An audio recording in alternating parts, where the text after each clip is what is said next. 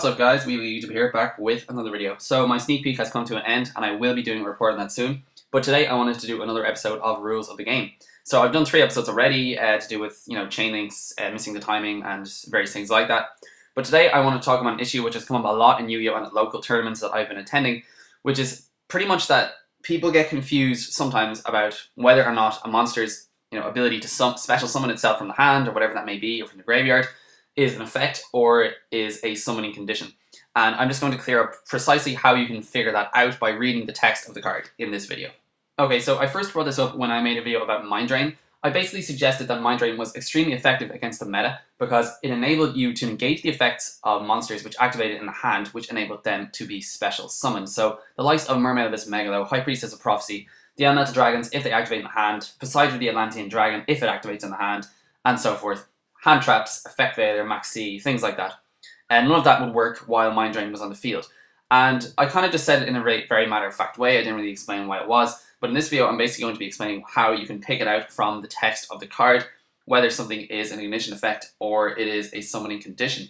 Okay, so let's look at monsters uh, which meet these uh, examples perfectly. So Mermail Abyssmegalo I've been talking about to death, and the reason is because it is so effective in the meta right now, simply because the likes of Thunder King Rai-Oh, the likes of Solemn Judgment, cards which have pretty much become all but obsolete in the meta right now are completely ineffective against Mermail, Abyss Megalo, and all other monsters of his type that special summon in this way. So his card text reads, you can discard two other water monsters to the graveyard, semicolon, special summon this card from your hand. And then the rest of it is just the searching and the attacking twice, etc. So the important fact about this is that when they started to standardize the reprinting of cards, or the printing of cards in general, they had to differentiate between whether a monster's uh, special summoning requirements were conditions, uh, in which case they didn't start chains and you couldn't respond with the likes of Max C, for example, to bouncing for a Grapha, or whether they were ignition effects, uh, in which case you had a semicolon separating the cost and the activation of the effect.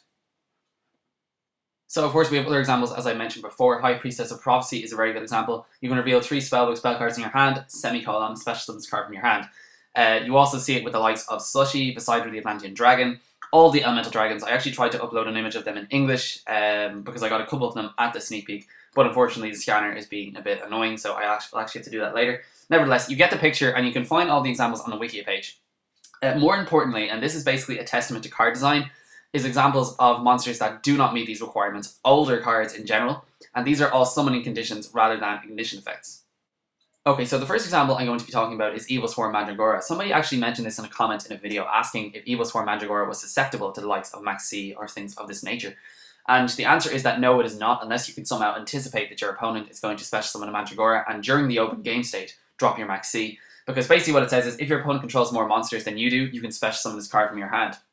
This is actually a testament to old card design, because although Evil Swarm Mandragora has been just released in the TCG, Evil Swarms have been a deck in the OCG for, uh, I'm guessing, a couple of years. Uh, don't quote me on that. Uh, so for that reason, it has slightly older card design in terms of its text, and it hasn't yet been. It was at a time when card texts weren't yet standardized. So you can imagine people nowadays getting a little bit more confused because they think that all the card texts will be fairly standardized, and they think all these cards will be treated in the same way, and that you will be able to chain Max C to the you know the activation of Mandragora's effect.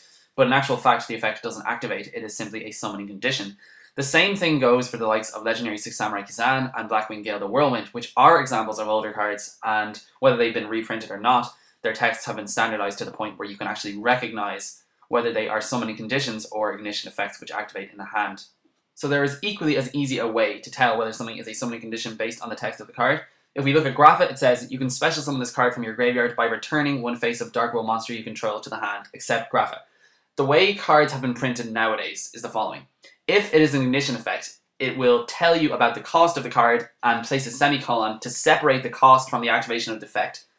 Whereas if it is a summoning condition, it will mention the special summoning of the card first. This is a very simplistic way of looking at it, but honestly, given how consistently cards are printed nowadays, it is actually a really good way of determining, at least on first glance, whether something is a summoning condition or an ignition effect. There are, of course, more ambiguous examples. When the likes of Grapha and the likes of Light Pulsar Dragon, Dark Flare Dragon, Dark Arm Dragon, uh, Blackwing Gale the Whirlwind, Legendary Six Samurai Kizan, etc. All of these effects are summoning conditions and not ignition effects. So that is a really easy way to figure it out, and I highly suggest you try it with any cards that will come out in the future, and cards that are pretty old, perhaps that have been out for a while. and you may be able to decode these cards far more easily in a game. Okay, so in summary, we have for ignition effects. The cost is mentioned first, separated by a semicolon, and then it will say special summon this card. These special summons do start chains, so you will be able to use the likes of Max C and any other cards you want to use that are spell speed 2 or higher against these effects in response. Um, second of all, we have summoning conditions. You can special summon this card from your hand, grave, etc. by, and then it will mention a specific condition. So the ability to special summon the monster is mentioned first, after which the cost is mentioned separated using by or to or some word like that. And these special summons do not start chains.